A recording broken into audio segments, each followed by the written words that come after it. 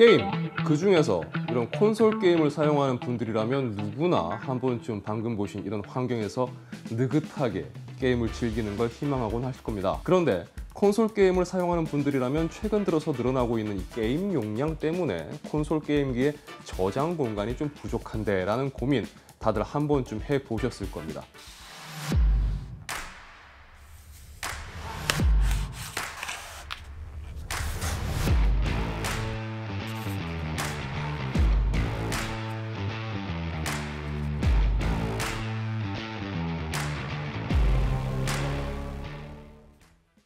디자인은 보시는 것처럼 방열판이 아주 튼튼하게 적용되어 있습니다. 제가 리뷰하는 모델은 2TB 용량의 3D TLC 방식이고요. 최대 읽기 속도는 초당 7100MB, 최대 쓰기 속도는 초당 6800MB, 1400 TBW 값을 가지는 모델입니다.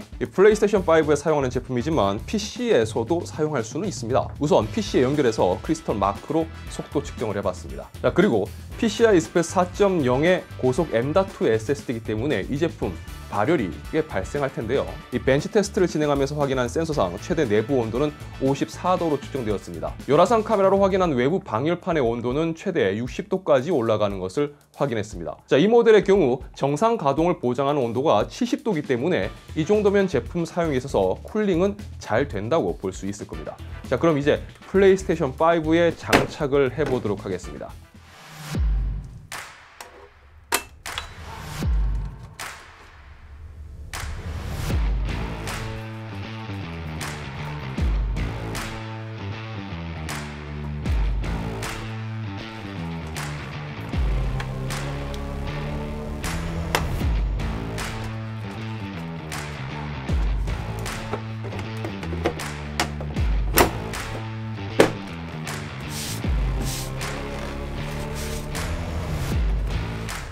자, 그럼 이제 단순하게 이 제품 2TB짜리 넣었으니까 이제 2TB의 용량만 늘어났을까요? 이 제품 스펙에서도 말씀드렸다시피 이 제품은 상당히 빠른 고속 SSD입니다. 자, 속도를 테스트해 봤습니다.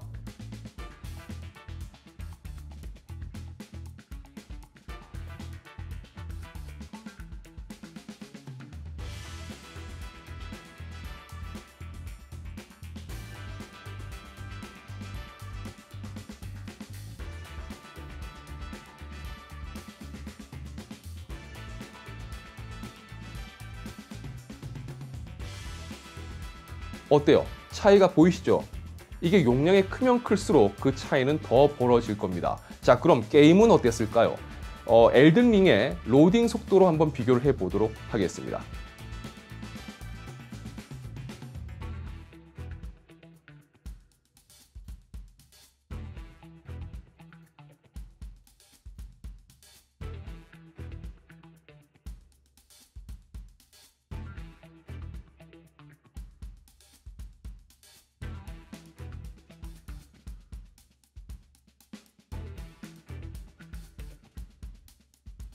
이 모델 가격이 1TB 용량은 30만 원대, 지금 제가 들고 있는 2TB 모델은 60만 원대, 그리고 4TB 용량은 150만 원대입니다. 뭐 가격을 생각해 보면 비싸다고 생각하실지 모르겠지만 PCI Express 4.0 기반의 대용량 고속 SSD에다가 방열판까지 장착된 모델이기 때문에 뭐 PC 버전의 M.2라고 하더라도 이런 조건이면 비싼 건 비슷할 겁니다. PS5를 통해서 콘솔 게임을 주로 하시는 분들 중 콘솔의 storage 용량이 부족하다고 생각되시면서 또 빠른 로딩 속도를 원하는 분들이라면 그 고민을 해결해 줄 수 있는 제품이 아닐까 생각을 해봅니다. 자, PS5를 좋아하시는 분들, 게임을 즐기는 분들이라면 오늘 리뷰한 이 모델 참고해 볼 만한 제품이 아닐까 싶네요.